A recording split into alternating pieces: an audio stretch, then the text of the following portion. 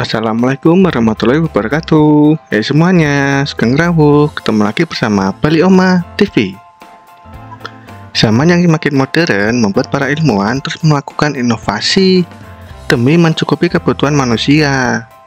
Salah satu inovasi yang terlihat jelas adalah pada bidang teknologi. Perkembangan teknologi tentu tidak dapat lepas dari pemutakhiran alat-alat canggih seperti halnya mesin, Hingga saat ini, telah banyak rancangan mesin yang berhasil dibuat oleh manusia. Mesin-mesin ini berfungsi untuk membantu pengelolaan dan pengembangan teknologi terbarukan. Ukuran mesin bervariasi, tergantung pada kebutuhan. Saat ini manusia lebih memilih menggunakan mesin yang berukuran raksasa. Selain lebih cepat, jangkauan mesin bak monster ini pun lebih luas sehingga tidak memerlukan lagi banyak tenaga dan energi. Berikut ini adalah penampakan mesin-mesin raksasa buatan manusia yang sudah dirangkum oleh tim Balioma TV.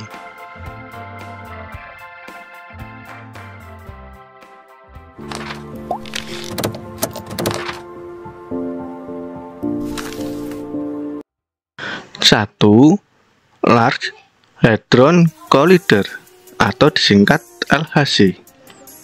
Hadron Collider atau LHC adalah kompleks mempercepatan partikel berenergi tinggi yang terbesar di dunia.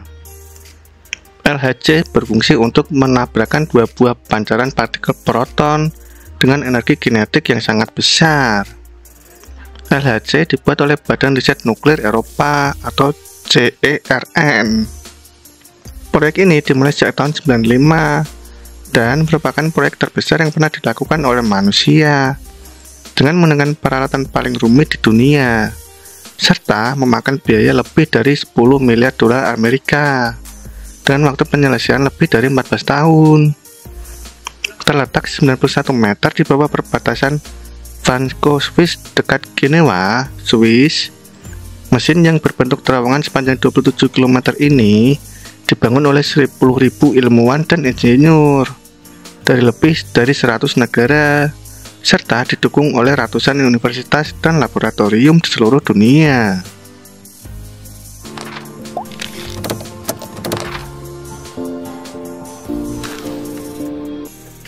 Dua, The Bagger 293 The Bagger 293 adalah eskavator terbesar yang dibuat oleh perusahaan Jerman Tagkraft Industri Mesin ini memegang rekor sebagai mesin terbesar dan terberat di bumi dan digunakan di tambang batu bara di Victoria, Australia.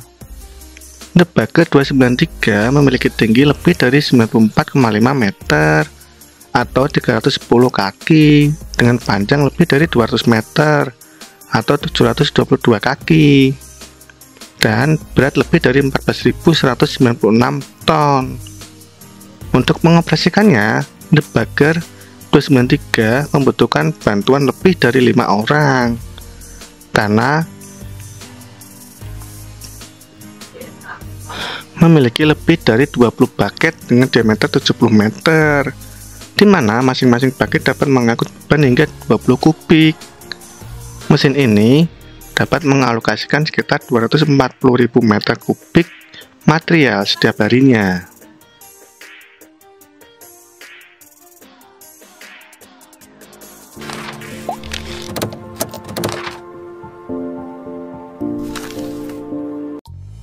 3. Betra Tunneling Machine Beta tun adalah alat menggali terowongan terbesar di dunia. Beta memiliki tinggi lebih dari 300 kaki, diameter 57,5 kaki, dan berat 7000 ton. Beta pernah digunakan ketika shuttle kota terbesar di wilayah timur laut Pasifik Amerika Serikat memutuskan untuk mengganti alasan by viaduk atau bagian jalan raya yang ditinggikan di antara tepi laut Elliot Bay dan distrik pusat kota dengan sebuah terowongan. Besarnya ukuran Berta membuatnya harus dipisah terlebih dahulu menjadi 31 bagian untuk dapat dikirim ke Seattle. Dan ketika seluruh bagian telah sampai di Seattle, barulah Berta dirangkai menjadi satu bagian kembali.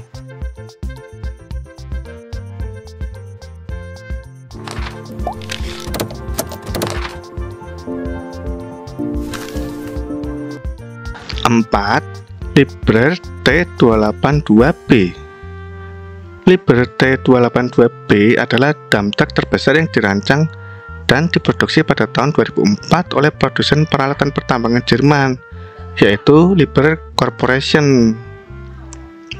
Liber T282B memiliki tinggi 7,4 meter atau 24 kaki dengan panjang 14,5 meter atau 48 kaki dan lebar 8,7 meter atau 29 kaki dan diameter roda 6,55 meter atau 21,5 kaki. Truk seberat 203 ton ini dapat mengangkut beban sekitar 365 ton dan menghasilkan tenaga sekitar 3650 tenaga kuda.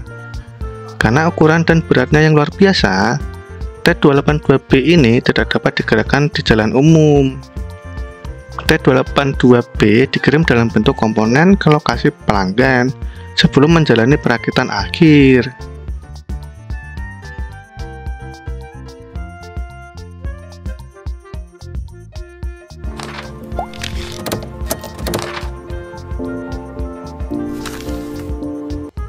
Lima, overburden conveyor Bread F60 Bread F60 merupakan mesin terbesar yang dapat bergerak bebas. Mesin ini digunakan dalam pertambangan batu bara coklat atau lignit di ladang batu bara Lustian, Jerman. F60 dibangun oleh mantan Fox desainer Bertrand Takraft di Lonsmahammer dan merupakan mesin induksi teknis bergerak terbesar di dunia. Sebagai jembatan pengangkut, F60 dapat mengangkut lapisan penutup yang terletak di atas lapisan batu bara. Mesin ini dinonaktifkan setelah 13 bulan beroperasi karena alasan sumber energi dan politik. Dinamakan Blade F60 karena ketinggian mesin ini mencapai 60 meter. Blade 60 memiliki panjang 502 meter, lebar 240 meter, dan berat 13.600 ton. Alat ini juga sering disebut sebagai Lying Eiffel Tower. F60 juga sering melakukan salah satu dari lima konveyor yang dapat digunakan pada pertambangan batu bara di Jerman.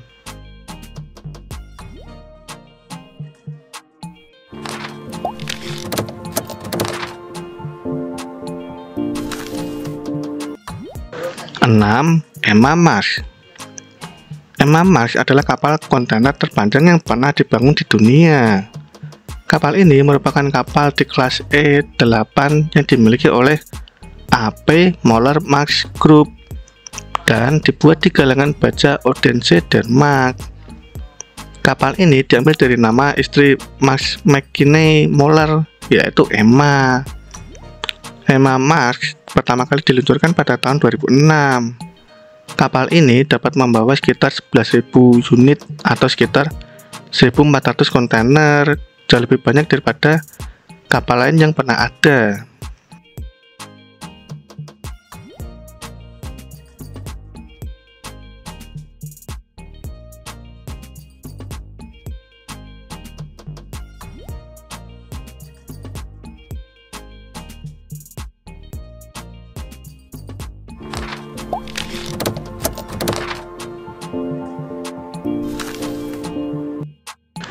7 BHC SR N4 MK3 BHC SR N4 adalah hovercraft terbesar yang ditujukan untuk mengangkut 254 penumpang dan 30 mobil.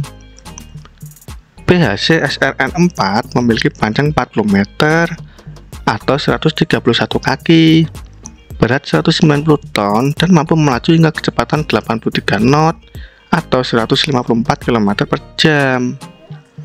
Mesin ini dibangun oleh British Hovercraft Corporation dan dibentuk oleh penggabungan dari Saunders Road dan Vickers Submarine pada tahun 66. SRN4 mulai dioperasikan pada tahun 65 dan dilakukan uji coba pertama pada awal 86.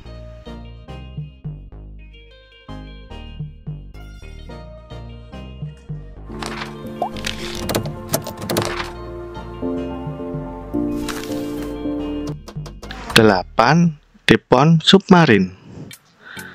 Depon merupakan salah satu kapal selam pengangkut rudal terbesar yang pernah dibuat.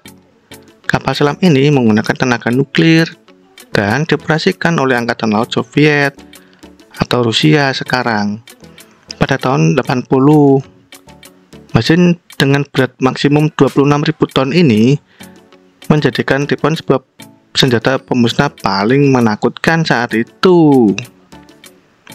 Angkatan Laut Rusia membatalkan program modernisasi Tipon pada Maret 2012. Mereka mengatakan bahwa untuk memperbaiki satu Tipon akan semahal membangun dua kapal selam kelas Borei yang baru. Karena biaya operasional yang mahal, maka kapal selam ini dihentikan operasionalnya.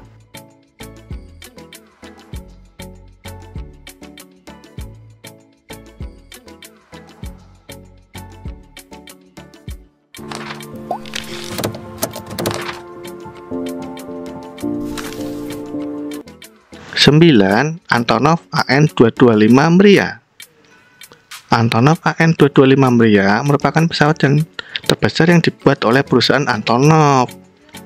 Nama belakang pesawat ini adalah Mria, yang dalam bahasa Ukraina berarti mimpi atau inspirasi.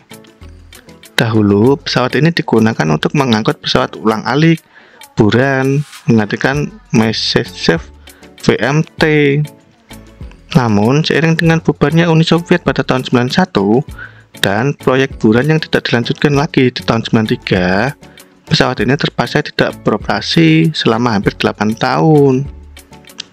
Pada tahun 2001, pesawat ini kembali dioperasikan menjadi pengangkut berat yang besar dengan penomor penerbangan UR82060 yang sebelumnya adalah CCCP 82060 sampai sekarang.